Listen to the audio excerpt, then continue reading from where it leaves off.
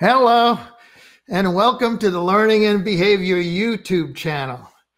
I set up this channel to house a series of videos in which I describe key concepts in the study of conditioning and learning. There are about 30 of these video segments, each lasting about 15 minutes. My goal was to stimulate interest in each topic rather than providing a comprehensive description. I've been teaching learning for more than 50 years, if you can believe that. I don't know whether to be proud or depressed about that. In any event, at the beginning, I was on the staff of the Behavior Science Institute at Western Michigan University. And in that position, I had the good fortune to get to know Jack Michaels, Nate Azrin, Murray Sidman, and other key players in the establishment of the field of applied behavioral analysis. I got my PhD under the supervision of Shepard Siegel at McMaster University, and since then have spent much of my career studying various aspects of Pavlovian conditioning. Along the way, I had the good fortune of becoming friends with many of the major scientists who shaped the field of conditioning and learning in the last few decades. The video segments reflect both my intellectual and my personal journey in this field.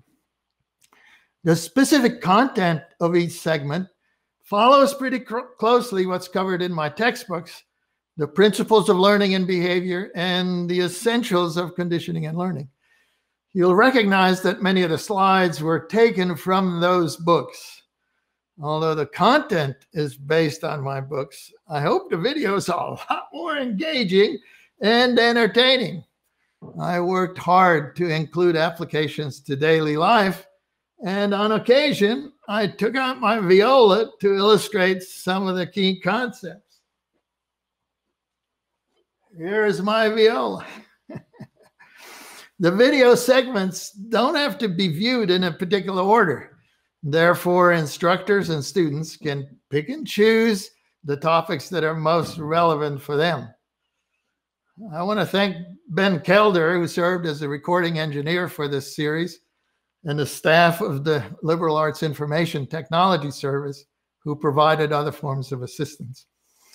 I'm grateful for your interest in the series, and I look forward to visiting with you again as I discuss various key concepts in learning and behavior. But until then, how about a little Mozart? We can all use a little Mozart in these uncertain times. Música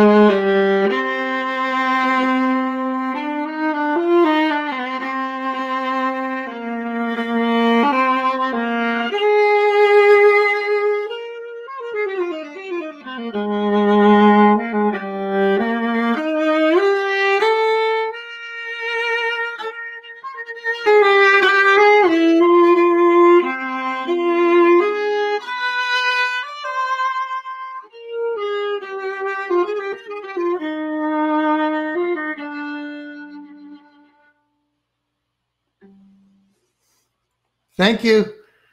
Be well and see you next time.